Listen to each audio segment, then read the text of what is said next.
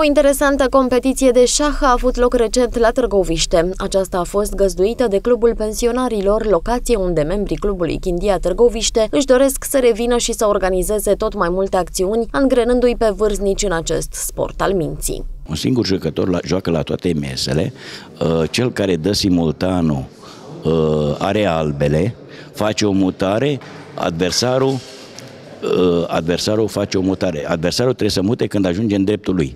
Și uh, când ai terminat uh, cu toți jucătorii, te întorci de la prima masă până la ultima, te întorci până la prima masă până la ultima și așa iau. Deci dacă joc cu, dacă am 10 jucători, ei gândesc, au timp de gândire de 10 ori mai mult ca mine. La inițiativa personală și a unor colaboratori de la clubul de șah India respectiv, maestru Stoescu Gheorghe și Chivu Nicolae, am organizat cu sprijinul uh, conducerii clubului pensionarilor un simultan de șah. De ce este interesant acest simultan? Se consideră că un jucător cu experiență uh, joacă în același timp mai multe partide cu mai mulți jucători. Uh, este atractiv pentru că impune o anumită ținută de joc, o anumită disciplină care nu se poate desfășura în orice condiții.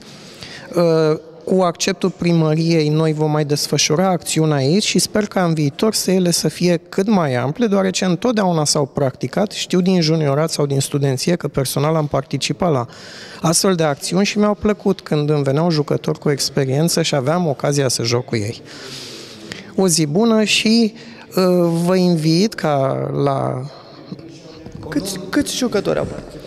Uh, au fost la invitația noastră doi juniori și 12 pensionari. Cu toții sunt profesioniști? Uh, sunt amatori, sunt doi jucători dintre ei care uh, sunt legitimați și joacă și șah, să spunem, semi-profesionist, pentru că profesionismul adevărat implică un nivel uh, uh, înalt.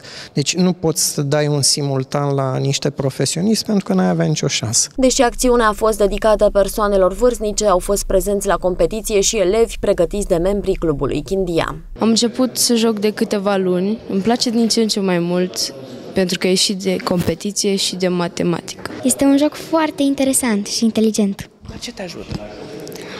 Mă ajută să gândesc, să mă dezvolt mintea, să-mi dezvolt mintea. Domn profesor, ce spune? E bine până, până acum. Să continui? Aș vrea, da. La columna TV, reprezentanții clubului Chindia prezintă 5 minute de șah telespectatorilor noștri în fiecare vineri după buletinul de știri.